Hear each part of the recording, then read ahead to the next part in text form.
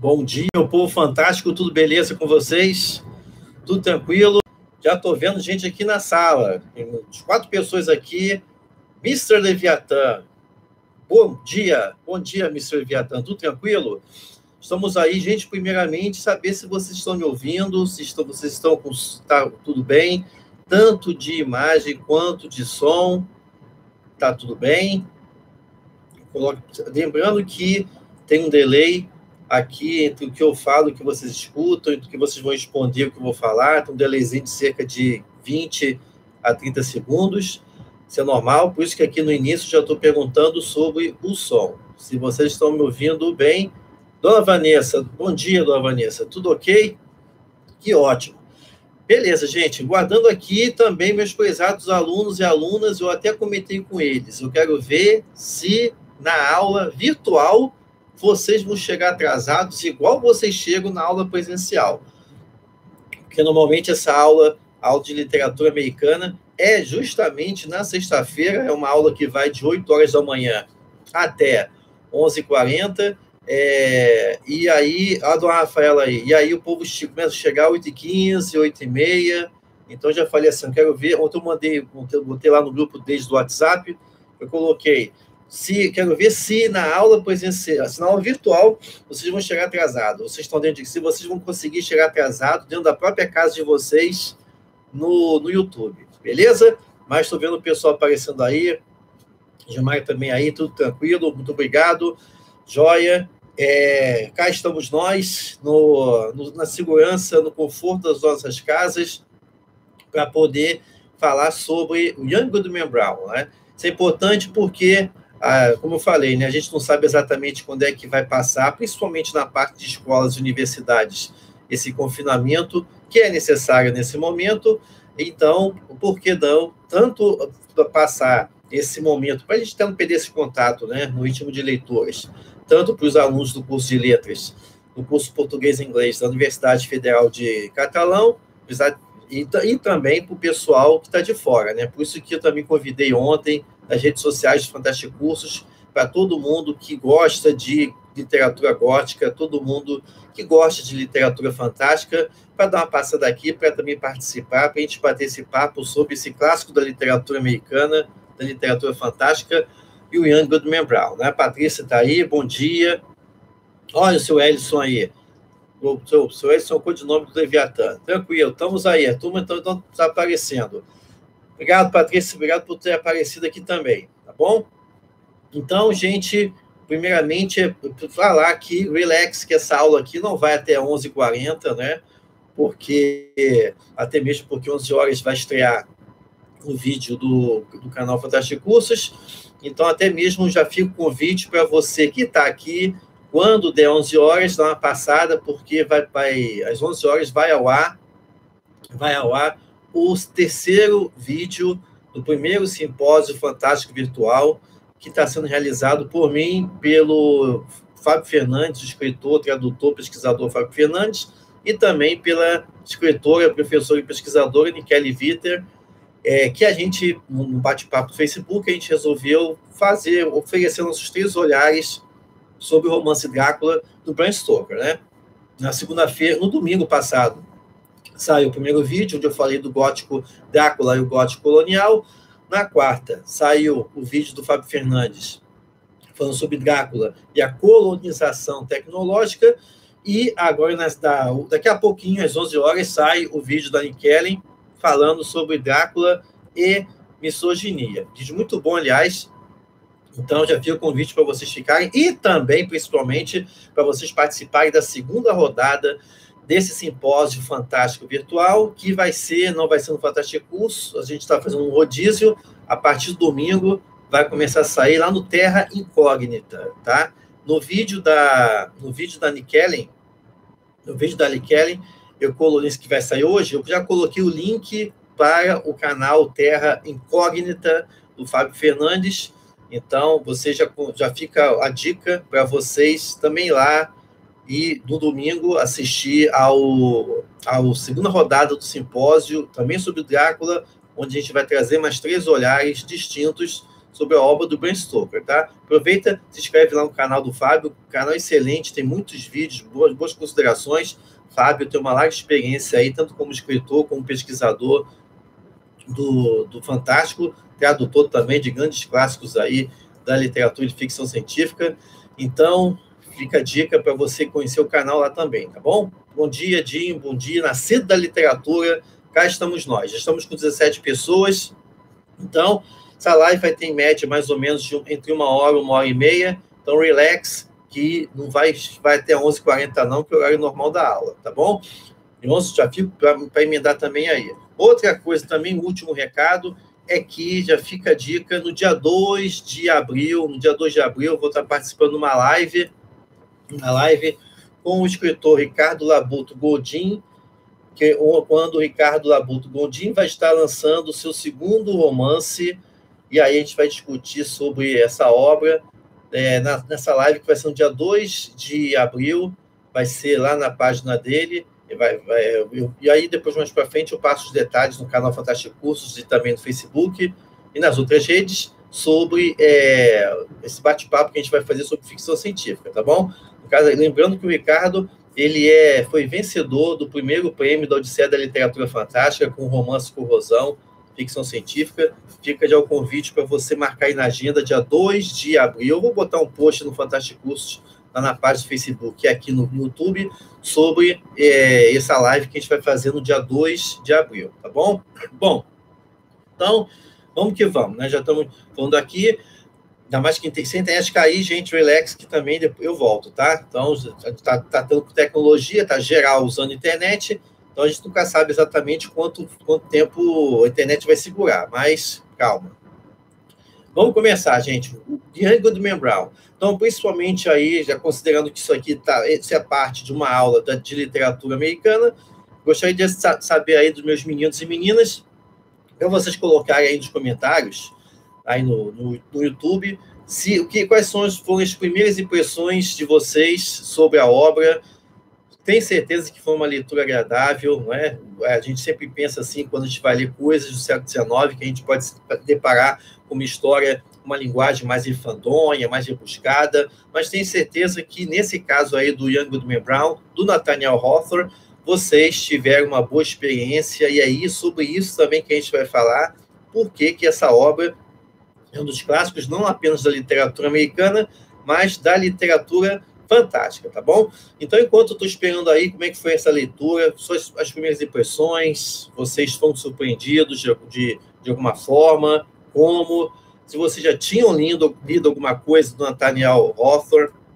até para mostrar aqui, eu trouxe algumas obras, grande escritor Nathaniel Hawthorne, vou falar dele ao longo aqui da live, mas só para lembrar, normalmente o, o público brasileiro tem muito mais contato com a obra do Edgar Allan Poe, e menos com o do Nathaniel Hawthorne. Nathaniel Hawthorne é menos pop, porque o, o tem, é um escritor né, né, que foi mais acolhido aqui no Brasil, mas já digo desde já que, se puderem, conheço também a obra do Nathaniel Hawthorne, escritor excelente, escritor que é contemporâneo também do Paul.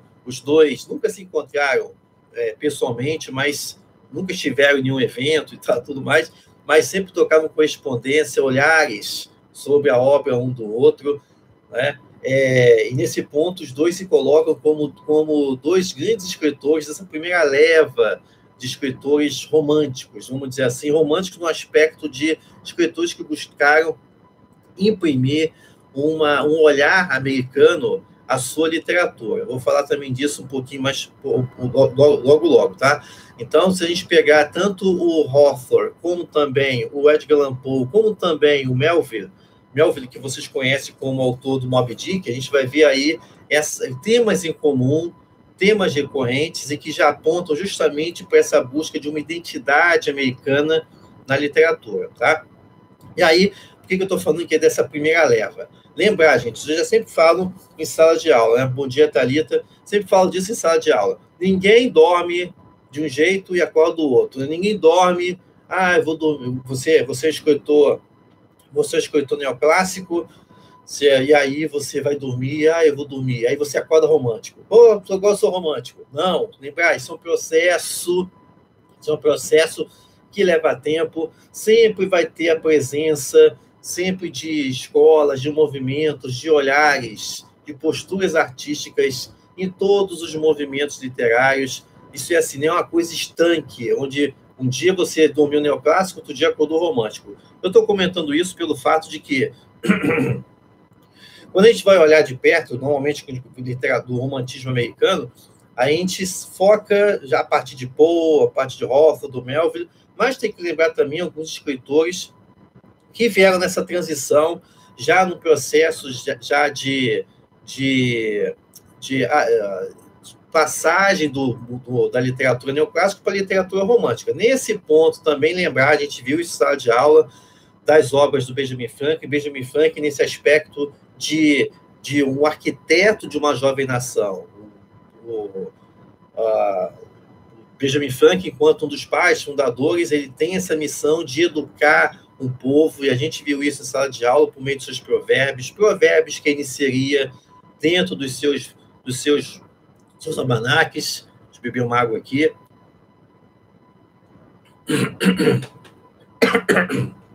E aí, é por meio desses almanacs que Benjamin Franklin viu uma estratégia para educar uma jovem nação que estava recém, recém-emancipada, recém-independente, e por isso mesmo, como é que eu faço para poder educar esse povo todo aí espalhado por, por, por esse país? Então, vamos usar as mesmas estratégias, a gente também comentou isso em sala de aula, vamos usar essas mesmas, as mesmas estratégias que o povo já está familiarizado. No caso, vamos usar provérbios, vamos usar essa linguagem tão, tão, tão familiar ao leitor americano por causa do contato com a Bíblia, e aí a gente retoma essa questão dessa identidade puritana, dessa alma puritana que está impregnada na consciência americana e que o Hawthorne vai ser o seu principal, seu principal artesão, né? Então, nesse ponto, lembrar que a partir daí, dessa consciência do Benjamin Franklin de construir, de projeto de construir uma nação, que a gente vai ver esse processo de começar a buscar um, um olhar nacional, como é que a gente faz para construir uma nação e tal. Na sequência, nesse meio, aliás, nesse meio tempo também, a gente vai ter os escritos do, Tom, do Thomas Paine sobre common sense, que já também incendiava a alma americana numa busca de um olhar nacional, e tudo isso acabou culminando na independência e também aí na, no processo dessa construção de um país, né? E aí na literatura como é que isso vai se configurar? Na literatura a gente começa a ver esses, esses olhares românticos, vamos dizer assim, em escritores diferentes, como por exemplo James Fenimore Cooper. James Fenimore Cooper ele sempre está oscilando. Alguns alguns o colocam dentro do romantismo, alguns o colocam já no, no ainda no final do do neoclassicismo, mas é, e James Fenimore Cooper, que você talvez conheça por conta da obra O Último dos Moicanos. Então, ali você já vai ver, no Último dos Moicanos, essa busca de exploração de temas nacionais. Né? Inclusive, você encontra muitos paralelos, como, por exemplo, o próprio Guarani de José de Alencar. E falando nisso também, aqui é importante a gente comentar. Quando você até vai, quando a gente começa a estudar um pouco mais profundamente Guarani, você vai se deparar com alguns textos que, na, uh, que antigamente acusavam o José de Alencar de ter copiado, plagiado o James Fenimore Cooper, né? Que a obra Últimos Moicanos foi publicada 30 anos antes do Guarani. Mas, gente, aí vamos lembrar da questão do Zeitgeist, ou seja, do espírito da sua época. E o que, que, que diabo que quer dizer isso? Quer dizer que, independente se os escritores e escritoras que nunca se encontraram, eles acabam compartilhando da mesma sensibilidade artística e acabam gerando obras semelhantes. Então, o, tanto o Guarani do, do Alencar, quanto também o, o Últimos Americanos do Cooper vão se inserindo no mesmo contexto de escritores que buscavam dar esses primeiros passos na construção de uma identidade, de uma literatura realmente nacional, seja brasileira ou norte-americana. Então, o James Fenimore Cooper, aí, com seus últimos americanos, dentre outras obras, ele vai acabar se inserindo nesse contexto, desse, dessa busca de uma identidade. Também, outro que o brasileiro conhece por meio do cinema é o Washington Irving. O Washington Irving também foi um dos, um dos primeiros escritores que já a gente começa a entrar nesse lado dark, dark do romantismo, né? É, como eu falei, no Brasil a gente conhece bem o, Washington Irving, por causa de, da versão cinematográfica do, da Lenda do Cavaleiro Sem Cabeça, que ganhou filme com o Tim Burton. Né? Ali a gente já vai ver o quê? Aí a gente começa a entrar nessa questão. Você já vai ver ali, por exemplo, na Lenda do Cavaleiro de, Sem Cabeça, para eu pegar esse, esse exemplo que todo mundo já deve ter na, na memória, o quê? Você vê um tratamento, você vê presença de elementos de bruxaria, isso é caro a literatura norte-americana nos seus primeiros momentos, está presente no Hawthorne, e também você vê essa abordagem de temas ligados, personagens conectados com, com a tradição gótica é, europeia, né? principalmente inglesa. Então, e, e, aí isso é bem característico. Então, o Washington Irving ele está nesse meio, nesse meio caminho entre ainda essa busca, como é que eu faço para escrever uma coisa nacional? E aí você, é muito difícil, gente, no início você fazer uma coisa, porra, vou fazer uma coisa totalmente nacional, você sempre vai contemplar essa tradição, principalmente também porque, vamos lembrar, o povo tinha que vender, né? Então você faz uma coisa totalmente nova, ah, o leitor e a leitora é, não se conecta. Então, por isso que nesses primeiros momentos era necessário é, você fazer essa menção, você usar essas convenções, usar essas temáticas, essa ambientação de, de temas ligados à literatura europeia, para poder também você começar a construir, a partir daí, usar essa fórmula para dessa massa sair uma literatura norte-americana. Tá?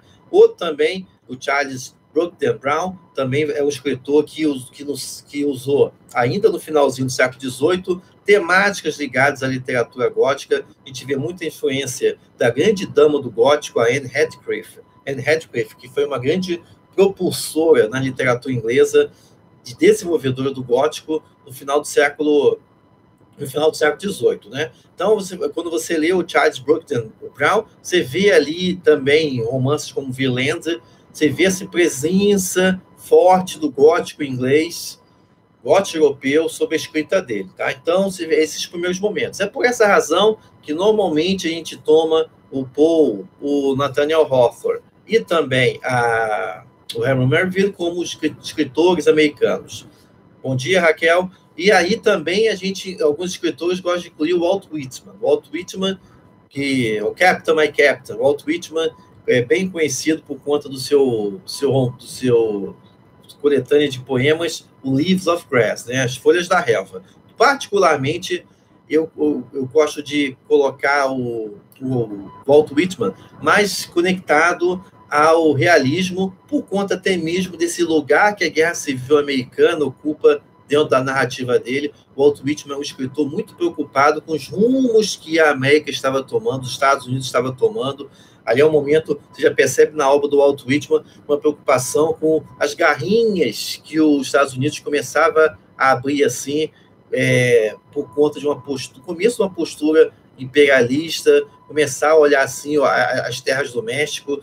Então, por isso que por essas questões do olhar mais, mais realista, mais cínico, é, ou seja, um, um, pouco mais de desencanto com os rumos que os Estados Unidos estavam tomando, e que eu gosto de colocar o Walt Whitman mais no, inserido no realismo. É, mas então, então por isso, por essa questão que vou contemplar aqui, vou falar ao longo daqui da aula, o Paul, o Hawthorne e o Melvin, tá? Mas o Paul vai ficar para o outro momento, hoje a gente vai falar aqui do, da obra do Young Goodman Brown. Beleza? E aí, algum comentário, gente, sobre essa questão, as primeiras impressões sobre a obra do Young Goodman Brown, é, e eu já começo falando o seguinte: é na obra do Young Goodman Brown que a gente vai encontrar, por exemplo, um bom exemplo do, dessa questão da literatura fantástica, né, da literatura fantástica enquanto gênero. Lembrar que quando a gente fala de literatura fantástica, a gente sempre tem um olhar de qual, qual fantástico a gente está exatamente falando, né? É o fantástico modo ou seja, fantástico modo, esse grande fantástico, que é quando você fala literatura fantástica, normalmente é esse fantástico modo que você está falando, né? É, ou seja, é um fantástico mais amplo, é um fantástico que contempla diferentes vertentes, diferentes expressões. A gente tem a fantasia, o gótico, o horror, a ficção científica, o weird, o new weird, é, lendas, mitos e por aí vai. Então, nesse, quando a gente fala de literatura fantástica, normalmente é esse, esse grande guarda-chuva sobre o qual várias expressões acabam se, se conectando, tá? Deixa eu botar aqui também, deixa eu conectar aqui a. É, o, deixar aqui aberto o site, o grupo do WhatsApp, para poder ver se o povo está comentando alguma coisa. Joia. É, o Igor está comentando que ficou confuso com as citações de Sally. Beleza, a gente vai falar disso. Bom dia, Beatriz. Bom, então nesse ponto, quando a gente está falando. E aí tem esse fantástico guarda-chuva, e aí a gente tem o outro fantástico, que é o fantástico gênero, gênero fantástico, que, enquanto fantástico, também está inserido dentro do fantástico modo. E calma, que a gente vai chegar lá. Só para repassar. Eu não lembro se eu tive oportunidade de falar isso com os meninos em sala de aula. Fantástico gênero, acho que eu falei isso na literatura inglesa ainda. Fantástico gênero é, a gente está falando de uma expressão literária que nasceu também no finalzinho do século XVIII, quase na mesma época que o gótico, com Castelo de Otranto, de 1764, sendo que aqui o gênero fantástico comumente é aceito que ele surgiu com o romance O Diabo o Diabo Namorado, do Jacques Casotti, em 1773. 73, 72, uma coisa dessa.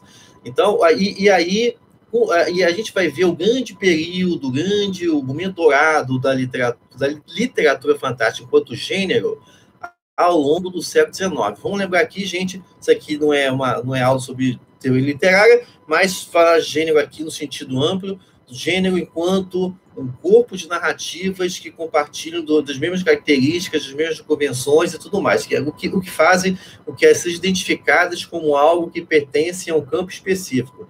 Então, isso é aqui um conceito bem amplo do que, que eu estou falando aqui de gênero, né?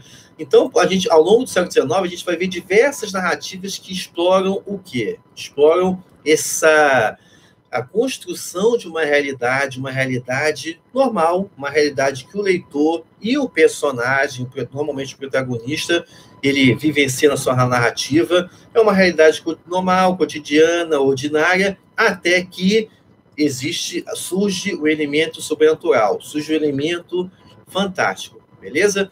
Então, aqui, ou seja, que interrompe o curso da realidade ordinária. E aí, se, usando a perspectiva elaborada pelo Todorov no Introdução à Literatura Fantástica, a gente vai ter aí a, a postura do narrador, né? Aí ele, ele, hesita, que diabo é isso? Diabo apareceu aqui, que é isso?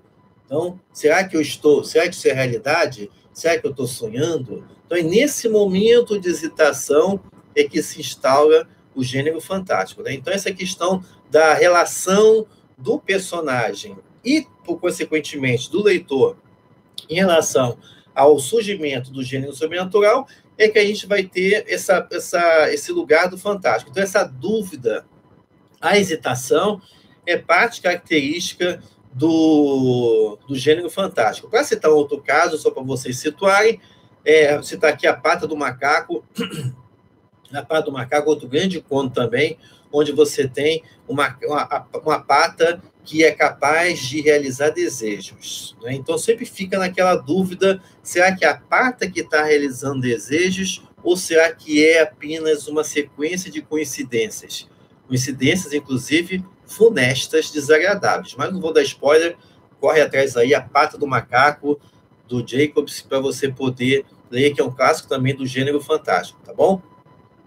Joia. Então, voltando aqui, exatamente o que, que característica, por que eu estou falando do, do, da, do, da, literatura fantástica, do gênero fantástico vinculado ao Young do Membral? Porque aí que é a questão, e aí que eu passo também para vocês aí do chat geral, aí não apenas para os meninos e meninas, mas para todo mundo que está assistindo, essa leitura, até onde o Young Goodman Brown, ele de fato vivenciou as coisas que ele vivenci, que ele acredita ter vivenciado na floresta ou não?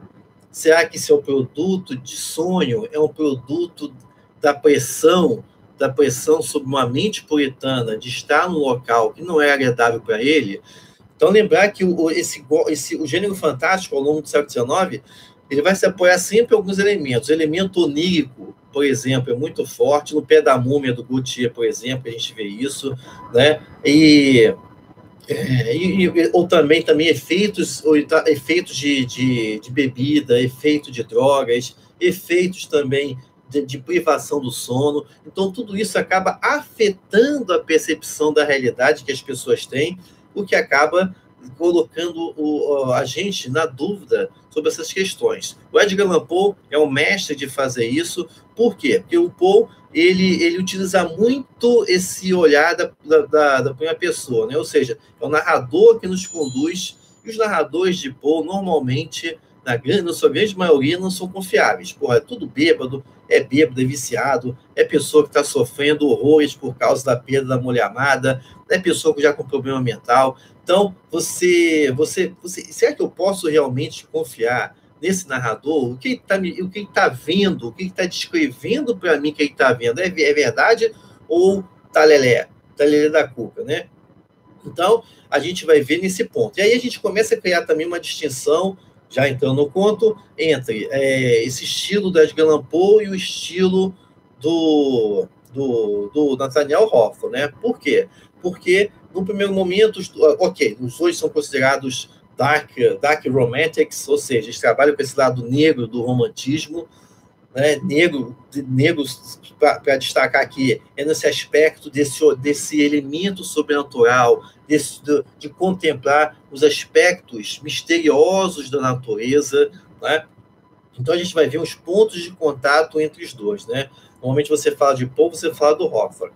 Sendo que, isso a gente vai ver mais detalhes, se Deus quiser, na sala de aula, o quanto antes, o Poe, ele trabalha mais nessas perspectivas sobre os efeitos de, da, da, mente humana. Né? O Poe é um escritor que estava bem alinhado com toda a discussão sobre a mente humana, sobre, é, sobre os distúrbios do sistema nervoso. Então, por isso que temas como a tafofobia, a catalepsia, o sonambulismo são recorrentes na obra do homem por conta dessa. Porque, porque ele usou esse, esse, esses elementos como matéria-prima para as suas narrativas. Tá? Então, é, e aí também tem um dos grandes, grandes é, sucessos do Poe, é porque ao invés de explorar o elemento externo, como fazia os góticos europeu, o gótico europeu, né? Ou seja, em vez de contemplar ruínas, castelos, é, portas, portas que balançam, portas que rangem e tal, fantasmas, vampiros, lobisomens, não. O povo foi buscar os demônios do interior da nossa mente. Então, fica também, isso é uma coisa que eu explorei na, na série do canal Fantástico Cursos, o, o Poe Pop, em homenagem aos 210 anos, aliás, Poe 210 anos. Você procura aí depois, aí no, no na, na, playlist do Fantástico Curso, que você tem uma sequência de vídeos onde eu vou falando de diferentes temas relacionados ao grande Edgar Allan Poe, tá bom? Então, mas se o Poe ele explorou essa questão do, do, do, do, já dos mistérios da mente humana, no sentido de como é que elementos como ah, o ópio, como a privação do sono, como é que isso afeta o, a nossa mente, já o Hawthorne vai explorar uma outra pegada. O Hawthorne ele está muito conectado com a própria descendência do Nathaniel Hawthorne. Né? O Nathaniel Hawthorne tá mais, tá, trabalha muito com essa questão da pressão do pecado, do pecado sobre a consciência do indivíduo. E aí, nesse ponto, cabe destacar, não sei se vocês fizeram o dever de casa e olharam sobre isso, Nathaniel Hawthorne, ele é a quinta geração de americanos na, na América. Né? O Nathaniel Hawthorne tem uma estrita, a família dele tem uma estrita conexão com esse nascimento da América, é, isso tanto para o lado bom quanto para o lado ruim. Por, que, que eu estou falando do lado ruim? Lado ruim no sentido de que o Hawthorne, boa parte também da obra dele, é uma tentativa de espiar essa, essa questão puritana que tem impregnada na família dele. E por quê? Porque o tataravô do Nathaniel Hawthorne é, que foi o juiz, o juiz John Hawthorne, ele foi um dos juízes responsáveis pelo julgamento das bruxas, no famoso episódio das bruxas de Salem, ocorridos no final do século no século XVII, lá na década de 1600, 1660, 1670, 1680. Então, o, o, o tataravô dele foi um dos responsáveis por aquela por, aquele processo coletivo é, de paranoia em relação à presença do diabo na cidade de Salem, que é a cidade que o Hawthorne também tem, tem, que o Nathaniel Hawthorne tem estreita ligação, a família dele vivia lá. Então, tudo isso aí é, faz, fez com que esse, esse tema do puritanismo fosse recorrente na obra do Nathaniel Hawthorne. Então, a gente vai ver aí nas obras dele uma tentativa de justamente quebrar essa, essa visão do puritanismo, de apontar os, os, uma crítica feroz ao puritanismo. Tá? E aí isso se conecta bem com a própria, com a própria proposta romântica. Vamos lembrar, lembra aí lá das aulas lá, lá das aulas do, do segundo grau. Lembra lá quando a professora, a sua professora de literatura falava quais são as características do romantismo? Ah, valorização do homem comum, também é, resgate do passado nacional. Então, aí, resgate do passado nacional. O que, que José de Alencar fez? Porra, qual, por que, que tem no meu passado, no passado nacional do Brasil? Tem índio. Então, vamos usar índio. Vamos escrever Iracema e Guarani. Aí, lá, o seu Walter Scott, lá na Inglaterra. O que, que tem no passado? O que, que tem no passado da Inglaterra? Ah, tem cavaleiro. Então, vamos escrever Ivanhoé. O que, que tem no passado dos Estados Unidos? Porra, tem, tem puritano. Então vamos escrever puritano. Então, a questão aqui, enquanto o, quanto escritor romântico, no, no Young Goodman Brown, a gente justamente vai ver, por parte do Nathaniel Hawthorne, essa exploração de temas nacionais para justamente, não, não, é, não é criticar, mas também é a partir daí você construir, você fazer, fazer as pazes com o seu passado e aí construir o projeto de uma nação. Falando desse, dessa presença do puritanismo no obra do Hawthorne, fica a dica para ler a sua obra mais conhecida, que é A Letra Escarlate, de Scarlett Letter, que é, é um clássico também da literatura americana, onde a gente vai ver justamente disso, algo que está presente no Young do Membral, essa pressão, essa divisão que acaba afetando a psique entre a, a paixão, sua paixão e também as suas obrigações sociais. Falei isso, comecei a falar isso na aula de literatura americana.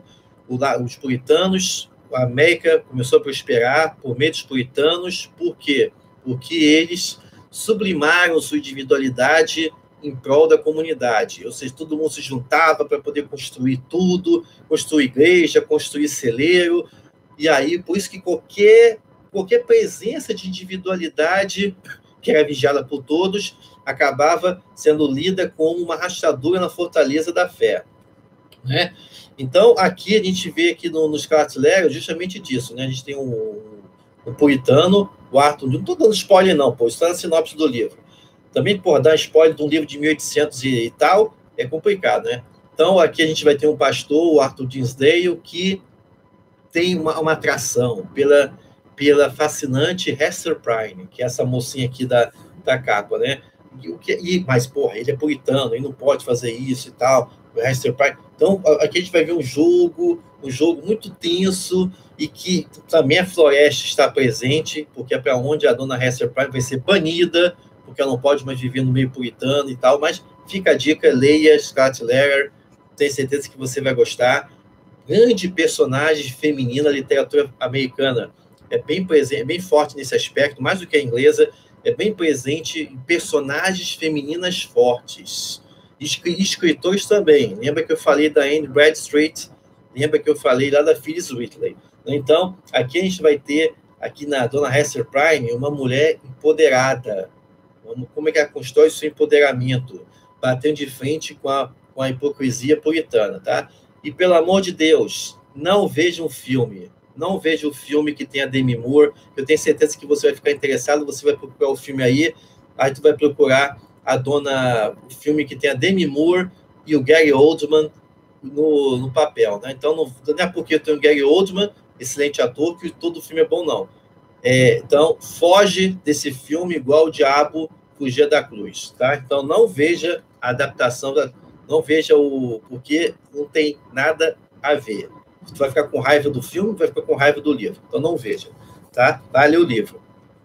Então a Patrícia está comentando, fez uma pesquisa sobre isso, descobri que temos sete obras entre filmes e minisséries adaptadas entre os anos de 1911 e 1995. Beleza, muito bom. Muito obrigado, Patrícia, pela essa informação, tá? E aí, falando do, desse tema do puritanismo, gente, a gente chega na parte do conto.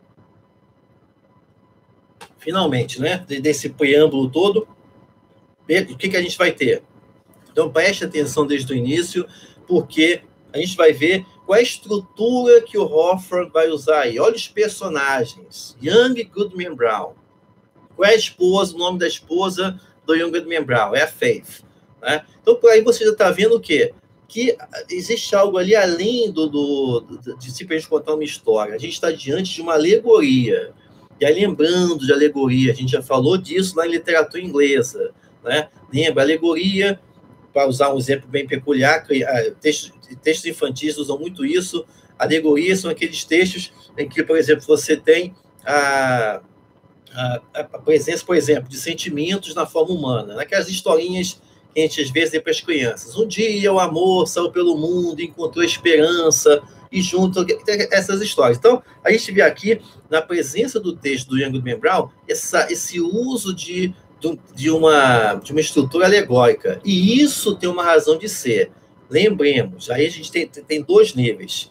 Tá? Lembramos, o, o Nathaniel Hawthorne está escrevendo no século XIX sobre uma história ambientada lá no século XVII.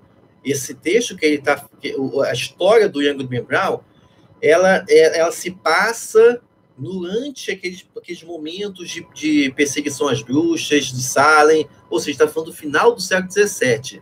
Então, é um escritor do século XIX escrevendo sobre, sobre um olhar em relação, ambientando a história no final do século XVII. E por isso mesmo, aí a gente chega no outro livro, que é a questão dessa presença da, da alegoria. A alegoria era muito forte entre os puritanos como estratégia de você poder pro, você, você disseminar, você promover os ensinamentos bíblicos. A Bíblia é uma grande fonte de alegorias. Né? Então, o que o Hawthorne está fazendo, Nathaniel Hawthorne está fazendo, é, é, replicando, tanto em termos de, de temática, como também em estrutura, essa, essa questão do uso da alegoria. Tá? Então, por isso que você tem um personagem como Young, Young Goodman Brown.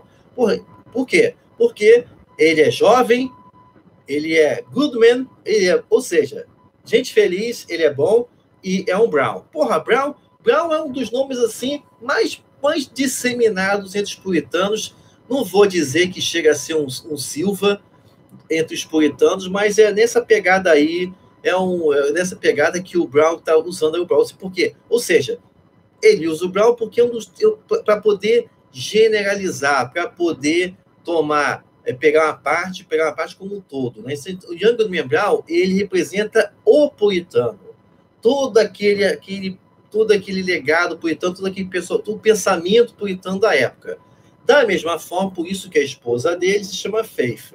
Então, você, nessa leitura, você sempre tem que conectar as menções que ao longo da narrativa a gente vai fazendo, como é que o Brown ele sempre remete a Faith, né? não posso perder minha Faith, não posso, justamente por essa proposta, essa conexão com a fé dele, tá bom?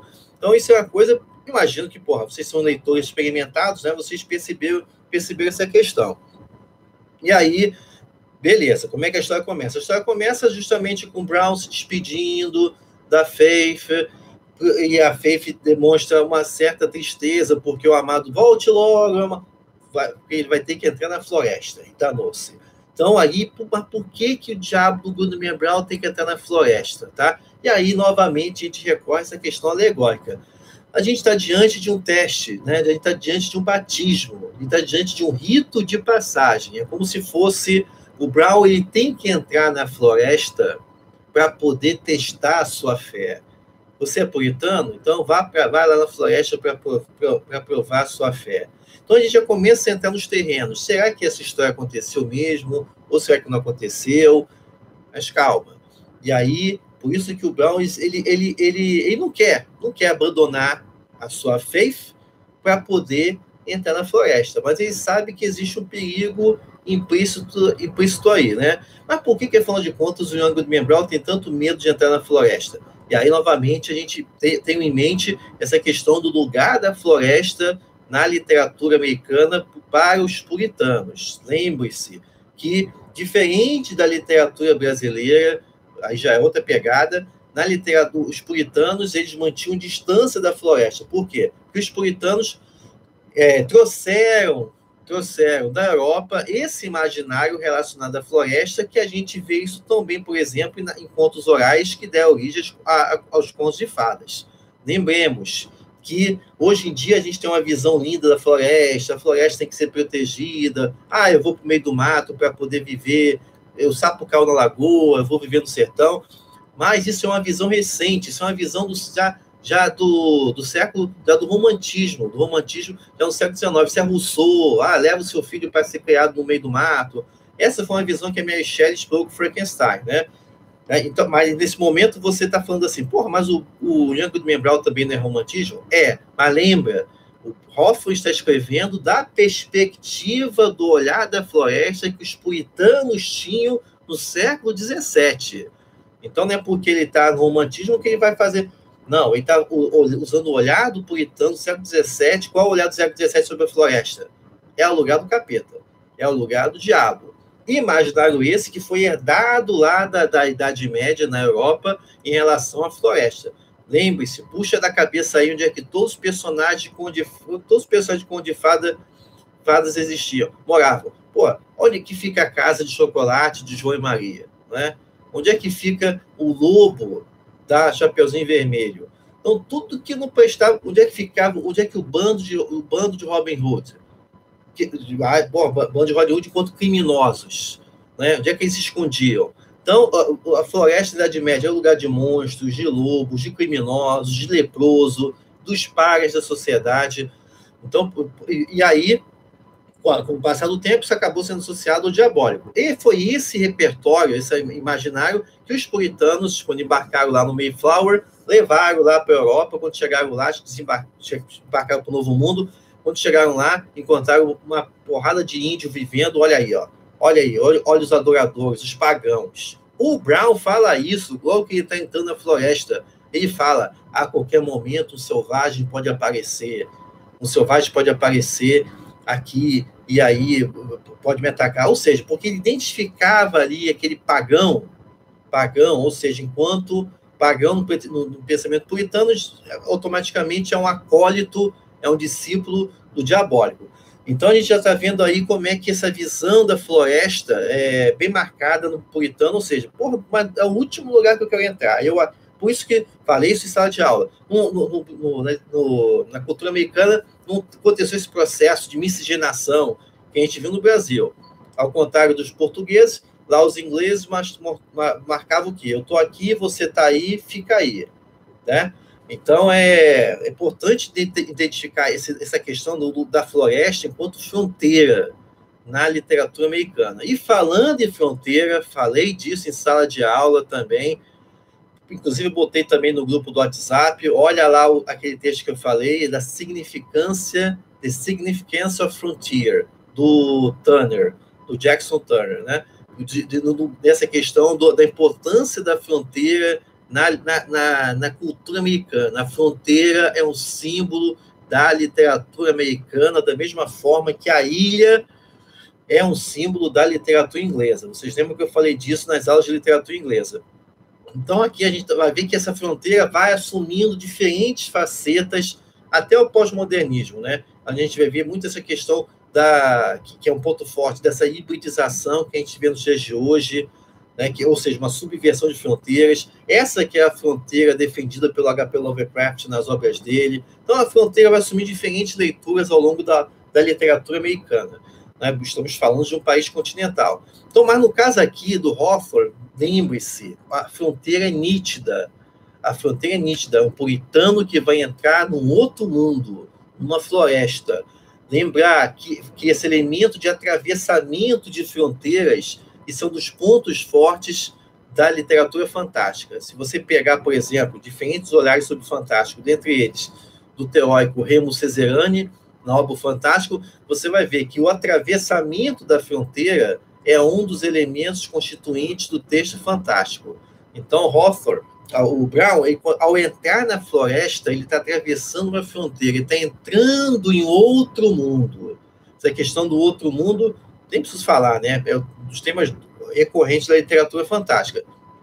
Então, Assim que ele entra, ele já. Aí que é o ponto. Ele já entra, porra, já bolado. Ele já entra, já. Pô, meu Deus, o que eu estou fazendo aqui? E é por isso que eu chamo a atenção de vocês. Preste atenção. Esse que é um tema forte do, do, do Hawthorne. Né? O Paul tinha seus temas fortes, o Hawthorne tinha seu tema forte. Qual que é? Essa pressão do pecado sobre, a, sobre o indivíduo. Aliás, por vezes, nem é tanto pecado, é a noção de pecado sobre o indivíduo. Tá? A gente começa a ver aqui no Hawthorne algo que a gente vai ver também no, no Paul, também no Helman Melville com Moby Dick, por exemplo, que é essa questão do, de, de indivíduos assombrados, personagens assombrados. Isso é muito interessante porque a gente está vendo aqui é, essa, esse tema recorrente, eu comentei já isso, do, do, individualismo, né? Uma das marcas da literatura americana, esse foco no indivíduo, né? Isso é parte dessa coisa americana, do self-made man e tudo mais. Então você vê isso no Arabe, que está perseguindo a baleia Moby Dick, né? Então ele tem que ele tem é uma tem um ambiente externo, tem, tem, a, a, tem não apenas a, a, caça ao seu demônio exterior, que é a Moby Dick, mas também o seu demônio interior, no caso do Arabi. Né? Você também vai ver isso no Edgar Allan Poe. Você também vai ver isso aqui no Young Goodman Brown. Então, essa pressão da noção do pecado, de, de, indivíduos assombrados, é um elemento recorrente na literatura americana. No caso aqui do Hawthorne, a gente vê, o Brown entra, e assim que ele entra na floresta, porra, quem ele, ele já está no texto, ele esperava encontrar, já viu lá um indivíduo, um indivíduo bem vestido, que aparenta mais ou menos 50 anos, e aí esse senhor o cumprimenta, e aí eles começam a andar, né? Aí você, no primeiro momento, quem nunca leu a história, que se você der esses textos para alguém não falar nada, o pessoal lê, não, beleza, encontrou uma pessoa, mas quem é esse indivíduo? o que que, o, que quem é essa pessoa que está dentro de uma floresta de noite na, nesse período. Então daí você já começa a observar e o Brown vai caminhando com ele. Vamos lembrar, gente, lembra lá da Bíblia, lembra também da tentação, da, da tentação de Jesus no deserto. Então aqui você está vendo assim uma releitura de um tema recorrente que é essa, essa questão da provação. O Brown foi para a floresta para ser provado, para se provar, né, para provar sua fé. Né? Foi bem sucedido ou mal sucedido? É isso que a gente vai ver. Então, a gente vai vendo esse, essa questão como é que o Brown ele vai colocando ali, ele entra e observa que esse, esse personagem tem um cajado. Aí, de novo, olha o simbolismo aí, pessoal, de pessoal aí do curso, do curso, dos cursos aí do Fantástico Cursos, né? Esse elemento do, do, do cajado forte Cajado tem todo o simbolismo, um elemento associado à sabedoria, associado a saber, associado à magia, né? A gente sempre lembra dos cajados que os magos usam, tá? E esse personagem aqui usa, usa um cajado, né? Para sustentar, para levar ele e tal. Então, o... e, vai, eles vão conversando. Você está atrasado, Hugo Membral. Eu já estava aqui esperando você. E aí Aí o Brown fala, não, estava me despedindo, estava me despedindo da Faith. A Faith me, re... Faith... a Faith me prendeu para poder vir e tal. Quer dizer, vai dentro da floresta, né? E eles vão falando, e o Brown vai manifestando o incômodo que ele vai sentindo de estar com esse personagem. E aí que eu volto a pergunta para vocês. Será que o Brown realmente encontrou alguém na floresta? Ele entrou na floresta? Será que ele entrou, realmente encontrou alguém na floresta? Ou será que isso é um produto de uma enorme pressão na cabeça dele, né, enquanto puritano, de já saber que vou entrar na, vou entrar na morada do diabo. Meu Deus, será que eu vou encontrar ele? Aí ele entra lá, porra, e dá de cara com o homem. Então, é aí que é a questão. E, e que, enquanto alegoria também, será que realmente encontrou ali o diabo? Será que é produto da mente dele? Então, já, vocês já vão deixando aí também nos comentários o que, que vocês acham. Brown encontrou, o Brau não encontrou, é produto da mente dele e tal. Lembrar que aqui é um, um belo exemplo do que a gente chama do texto fantástico, né? Ou seja, dessa, dessa dúvida que é instaurada tanto no leitor quanto no personagem. E a dúvida que vai mantendo o Brown ali na floresta.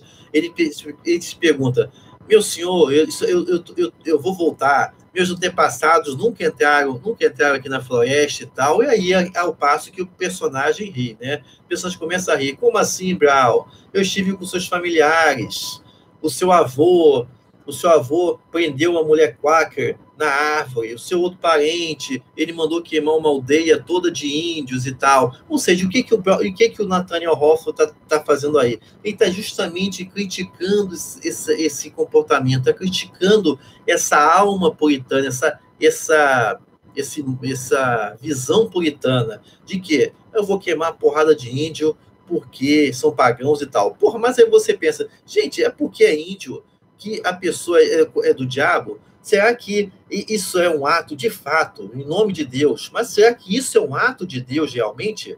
Você queimar alguém por conta da por ela, por ela não seguir o cristianismo, por ela não ter a mesma visão sua? Então é disso que é, é, é isso que o Hoffman está criticando aí, essa visão de que, porra, no final das contas, a, a, o puritanismo estava acabando fazendo o trabalho do diabo.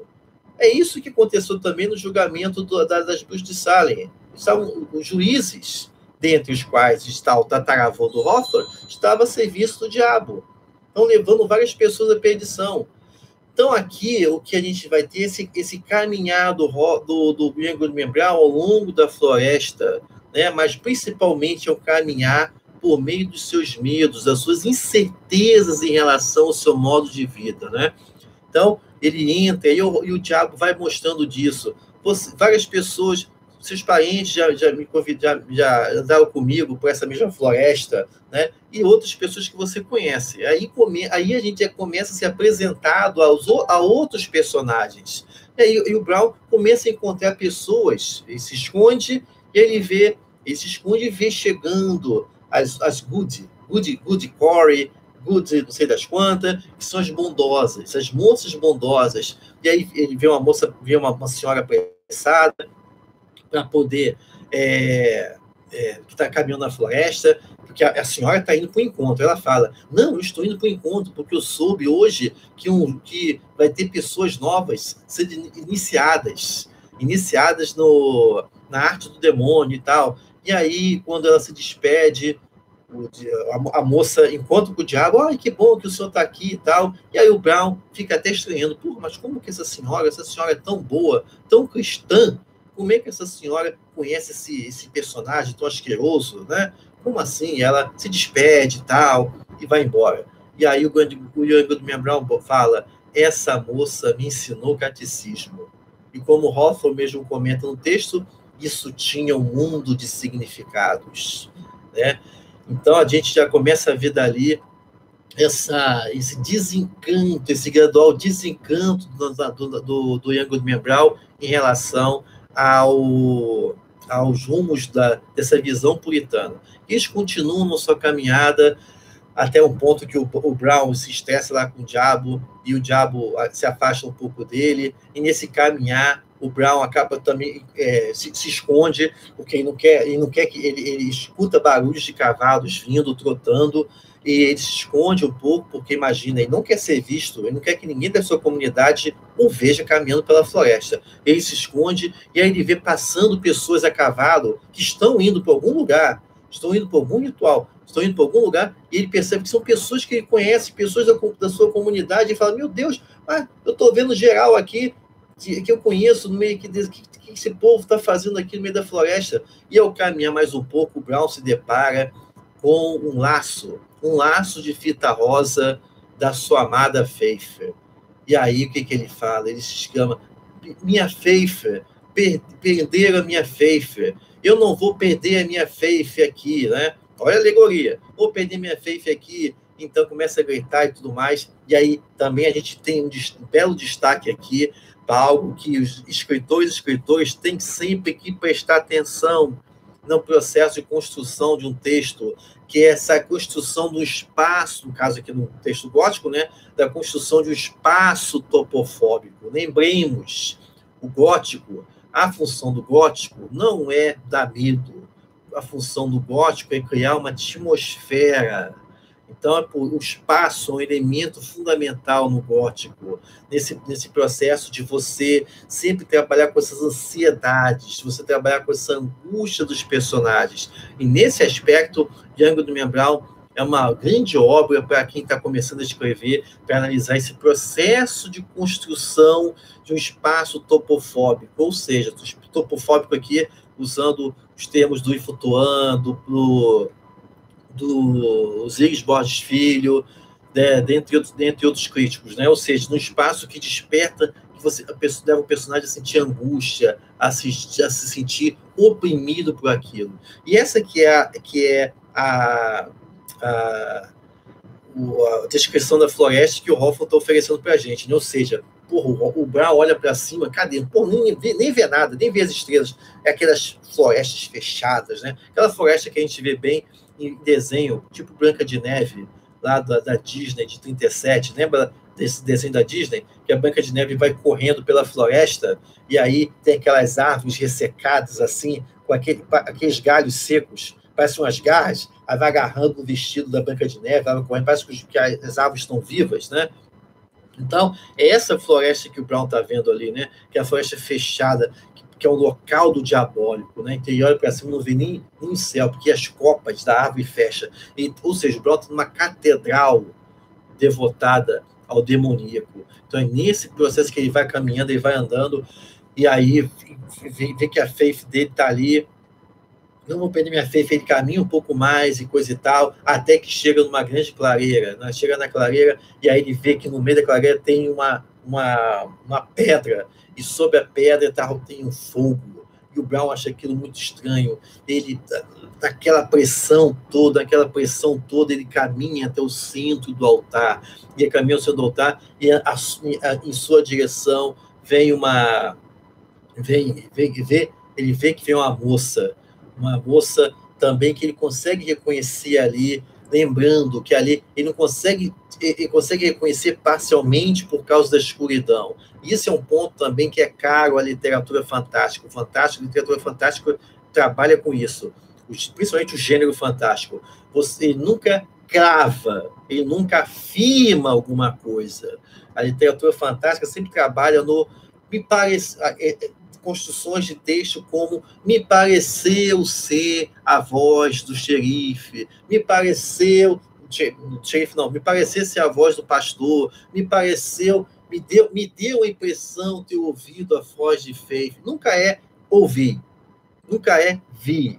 É sempre essa coisa que, para quê? Para manter o leitor naquele processo de dúvida. Será que realmente eu estou vendo esse negócio? Será que realmente está acontecendo? Será que os meus sentidos estão também me. Os sentidos é, estão, estão me enganando, né? Então você vê isso tudo aí, por isso que você tem essa, a importância da construção do espaço, é, é, serve esse propósito, né? De você não deixar exatamente ver. Então o Brown ele está ali no meio daquela clareira, diante de um fogo, diante dessa moça que se aproxima e ele, ele, ele percebe silhuetas no meio ali ao redor que ele não consegue ele não consegue identificar mas pelo som das vozes, pelo cântico, ele tem a impressão que são da sua comunidade, né? Será que realmente está ali? Será que é uma enganação do diabo? Será que o diabo deu formas às pedras, aos galhos, para poder enganar a sua consciência puritana? Então, ainda ali, diante daquele altar, que a gente chega no grande momento em que o Brown segura segura a mão da Faith e grita. Deixa eu até achar aqui o texto pegando o texto daqui no final para poder achar aqui do tchan, tchan, tchan, tchan, tchan. Só um momento. Sim, assim, aqui. Que o Brown segura. Faith, Faith, gritou o marido. Olhe para o céu, resista ao mal. E aí, tum, o que acontece? O que acontece é que ele grita esse grito dele, fez, fez, fez, parece que as coisas. Depois disso, como o texto fala, não se sabe se Faith ouviu ou não. O que aconteceu é que o Brown acordou no meio da floresta e viu que não tinha fogo, a pedra estava fria, não havia voz ao redor dele e tudo mais. E aí o próprio, o próprio Nathaniel Hawthorne coloca a dúvida na cabeça do, do leitor. Teria Goodman Brown apenas caído na floresta e tido um pesadelo? Será que realmente ele não ouviu a Good, a Good, Goodman Brown, a, a Good Close, a Good Golkin, o Diácono Gulkin e tudo mais? Né? Mas a questão, a partir daí, não é nem tanto se ele ouviu, se, se, se realmente viveu, se ele vivenciou aquilo ou foi produto da imaginação dele. A, a questão maior, o que, que é? A questão maior é, e depois? Qual o efeito disso no Goodman Brown? Ele passou pelo seu teste, ele passou pelo seu ritual, seu ritual de, de, batismo, vamos dizer assim, enquanto puritano, o que a gente vai ver que acontece? Depois, Goodman Brown volta e, a partir daí, ele tem uma outra visão sobre, sobre, sobre as pessoas que o cercam, né? A partir daí, ele está ele, ele tá com o olhar de enxergar apenas o diabo nas pessoas ao seu redor. A própria Faith, ele trata de forma fria. Ele perdeu, perdeu a sua fé. Ele, então, a Faith está ali, mas ao mesmo tempo ele a perdeu. Então, a partir daí, ele anda pela sua comunidade, ele enxerga nas pessoas acólitas do, do, do demoníaco, é, e, e, é nesse processo que a gente vai vendo quais são esses efeitos. E aí a gente pergunta: será que o, o, o Brown realmente vivenciou aquilo? Será que o diabo contaminou? Será que ele que tá? Será que ele que é que na verdade sua fé que não foi forte o suficiente? Então essas essas dúvidas é que fazem com que esse conto seja magnífico, porque ele abre diferentes interpretações para os leitores e leitoras.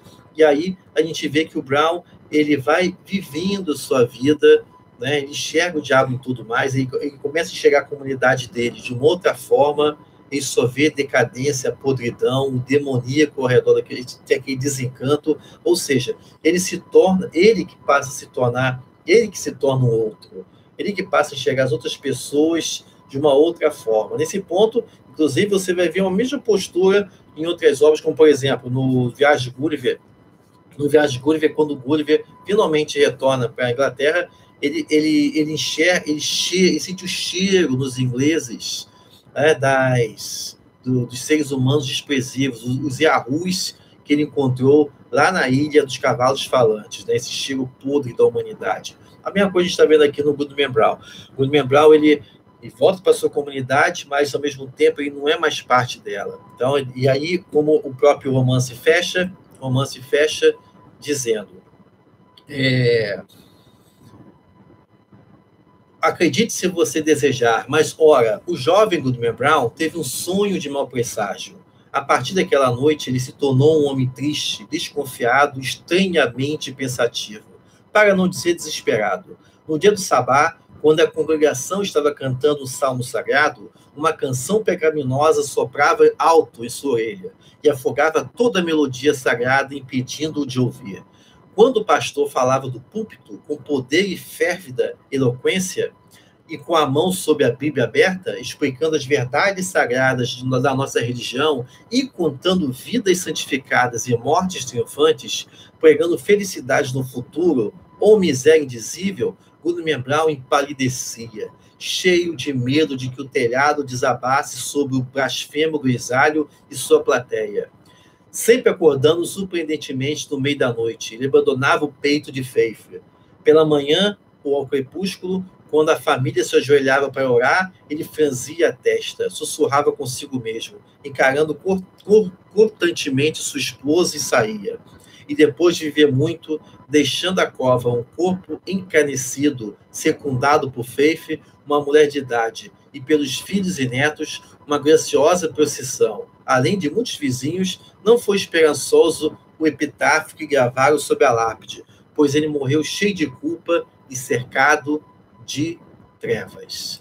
Então, é nesse ponto que a gente vê essa crítica do, do, do Hawthorne a essa visão puritana essa ideia puritana, essa pressão do pecado sobre a identidade desses primeiros colonizadores, né, dos, desses formadores da América que conhecemos hoje. Perguntas, comentários e afins, meninos e meninas. Uma coisa, Uma coisa que vocês querem que eu repita, ficou claro? Algo mais? Comentários? Perceberam esses pontos que eu falei? No, no, no mais, no geral, gostaram do conto?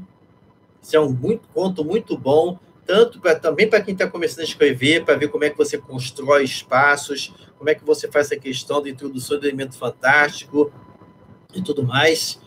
Guga, Guga gostou do conto, desse conto, muito bom. Meninos, algum comentário, essas questões, preste atenção, né? Importante ver isso, porque a gente vai ver nas sequências, a gente vai ver o Edgar Allan Poe.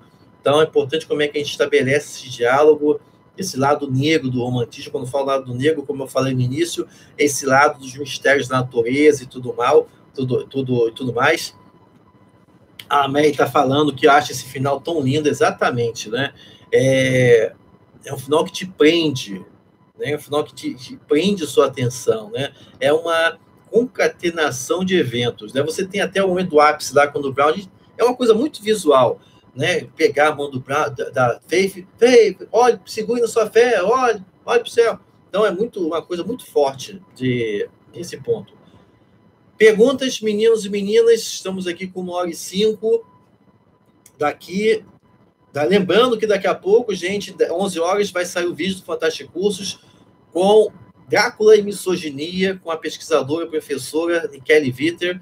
Então, é o tempo de acabar essa aula, você tomar seu café, beber uma água e 11 horas está aí no canal para poder assistir. Bom, bom vídeo, recomendo uma bela visão de uma pesquisadora, da Kelly Witter, sobre a misoginia em Drácula, beleza? E lembrando também que no domingo começa a segunda sessão da rodada do Simpósio Fantástico Virtual, começando com um vídeo meu, onde eu vou falar do Drácula entre doenças e epidemias. Então vai ser lá no Terra Incógnita. Na descrição do vídeo da Kellen está o link lá para o canal Terra Incógnita do Fábio Fernandes. Já fiz o convite desde já para você acompanhar na próxima semana, começando nesse domingo, segunda sessão de rodadas do Simpósio Fantástico Virtual. Tá? Ah, ele Neves está falando, ficou claro, porque diz que é um romântico. Exatamente. Você vê aí muitos elementos aqui, né? Você vê essa pressão no imaginário. Você vê disso, de que, inclusive, quando, você, quando, você, quando o Brown entra na floresta, até o texto do Hoffman comenta que quem olhasse de longe conseguiu, poderia até mesmo tomar tanto o tomar aquela figura, não o diabo, né? Diabo bem vestido e o Brown com o pai e filho, que tinham uma certa semelhança, né?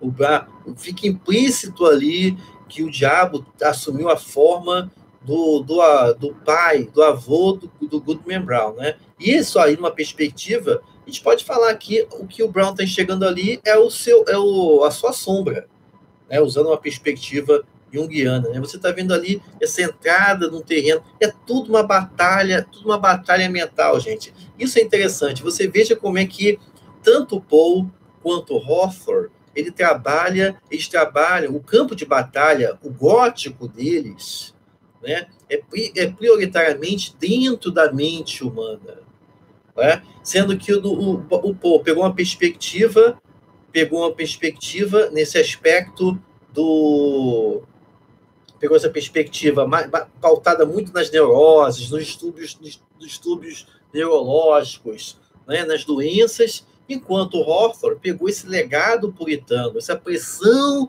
essa noção do pecado, porque, porra, para quem é muito religioso, é, é importante se colocar nesse lugar. Para quem é muito religioso, essa noção do pecado, essa noção de transgressão, é uma coisa que paralisa a pessoa.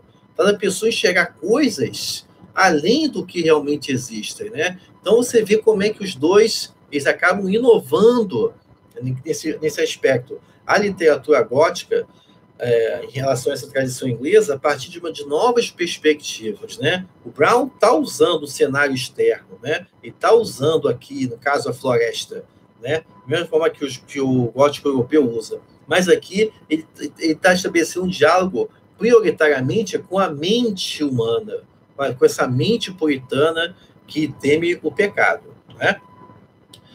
Beleza, mais o que, minha gente? Meninos e meninas, meus meninos e meninas, meninos e meninas aí da, da, da literatura americana, Fluiu, tranquilinho. Lembrando aqui que eu passei por cima, leiam o texto, porque isso vai ser texto de prova, né? Então, se não ler, vai se lascar. Leiam, a, leiam o texto. Também vai ter a de Galampou também na prova. E leiam o texto que eu coloquei aí também no grupo do WhatsApp, do texto do Turner, sobre a, o significado da fronteira para a história americana, tá bom? Nem essa questão da fronteira, que isso é importante sobre isso. Quem avisa, amigo é, tá? Joia, minha gente. Então, uma hora e dez. Vou ficando então por aqui, beleza? Comentários, perguntas e afins. Tá, estamos aqui. Hawthorne Von Franz na veia. o, o comentários, perguntas e afins meninos de literatura americana coloca na, lá no grupo do WhatsApp para poder responder, debater alguma coisa a mais, tá bom? Pessoal também aí, meio, pessoal mais aí que acompanha Dona Raquel também, que tá, também faz parte dos cursos Fantásticos Cursos. Qualquer coisa, é só colocar as perguntas nos respectivos grupos dos cursos para a gente poder conversar, beleza? Dona Patrícia também, obrigado. E aí, agradecer aqui, né? Temos 17 pessoas presentes. Muito obrigado a Lili Neves, a Mayra Esteves, a Guga Pereira, a Miriam, a Patrícia, a Raquel, a linda Beatriz Tanque, a Igor Lemos, Dona Aline Ramos, o Diogo Emanuel, a Thalita Vilar, a Nascida da Literatura, o Dinho Freitas, o Ellison também está na área, a Germária, a Rafaela Martins, Dona Vanessa Matiola também. É, e Gente, muito obrigado pela presença. do Beatriz está ali, por favor. Uma pergunta, Beatriz, para a gente poder fechar aqui. É, qualquer coisa é só perguntar lá no grupo, então, tá bom? De alunos ou da, de alunos ou daqui. Joia? Então, gente, obrigado. Tenha, lembre-se, fique em casa. Vai passar. Esse primeiro momento necessário todos acreditem na ciência. Ciência, science, como diz lá o Breaking Bad, science, bitch. Science. Acreditem na ciência. A ciência, todo mundo fala, o mundo vai, o negócio, o bicho vai pegar agora no começo de abril. Então, aguenta mais um pouquinho. Sei que está difícil, pressão econômica e tudo mais, mas aguenta mais um pouquinho mais para a gente poder é, passar por esse período de uma forma menos danosa, tá bom? Então, fique em casa, aconselhe seus familiares, acreditem na ciência, acreditem que estudou, gente. Acreditem que estudou, quem sabe do que está falando, tá? Lembre-se disso. É, fique em casa. Então, que vocês, que vocês possam todos ficar na segurança de sua casa, em saúde. Desejo saúde para vocês, saúde para os seus familiares Tenham um fim de semana fantástico e acompanhe os vídeos do Mandaste Cursos, tanto o de hoje, daqui a pouco, 11 horas, assim como também o que vai passar lá no canal Terra Incógnita no domingo também. Acho que o Fábio vai botar às 11 horas. Depois eu vou, eu vou anunciar no Facebook e nas outras redes, tá bom? Então, gente, obrigado pela presença de vocês. Bye, bye.